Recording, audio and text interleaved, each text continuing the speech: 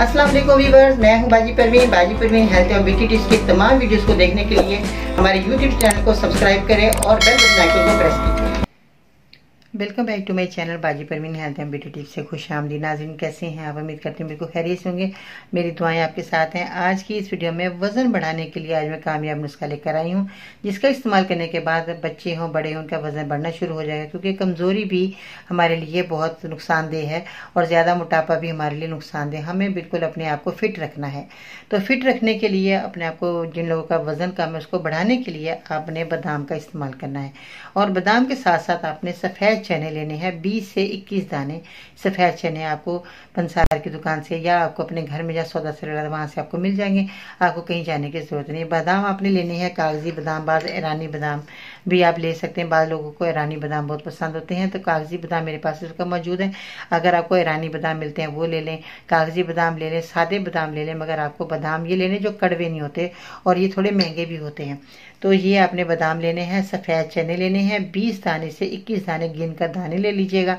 और इसके बाद सात अदद आपने बादाम गिन कर ले लेने ये सात अदद बादाम जो है, ये आपने इस्तेमाल करने हैं। इसमें इस वक्त मेरे पास छः बादाम है, एक बादाम कम है। ठीक है जी?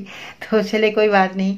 तो आपने सात बादाम गिन लेने हैं और रात को आपने आधे गिलास पानी में सारी चीज़ें भिगो देनी है। चने भी और बादाम भी। सुबह उठे, नहार में आपने बादाम और चने चबाकर खा लेने हैं और ऊपर से जो इसका पानी है, वो भी आपने पी लेना है, पानी को नहीं फेंकना, जिस पानी के अंदर आपने इनको भिगोया है। ठीक है जी? और जब ऊपर से पानी पियेंगे, ये तो आपका मुकम्मल नाश्ता हो गया। जब तक आपको भूख ना लगे, आपने खाना नहीं खाना। और इसके अलावा केले का शेक बनाकर आप पियेंगे, बादाम उसके अंदर ऐड, अच्छे तरीके से ऐड कर लें। और बादाम का और केले का शेक बनाकर आप पिए एक गिलास आप दूध लें, उसके अंदर एक केला और दो तीन बादाम। छिलके हटाकर वो आप डालें और उसको ग्राइंड करें, अच्छे तरीके से इसकी शेक पिए। इसके बाद यानी कि जब ये आप बादाम खा लें, चने खा लें तो फिर आपने केले की शेक बनाकर आप लें बहुत अच्छा वीआईपी आपका नाश्ता है ये। आप ये रोज़ाना इस्तेमाल करें।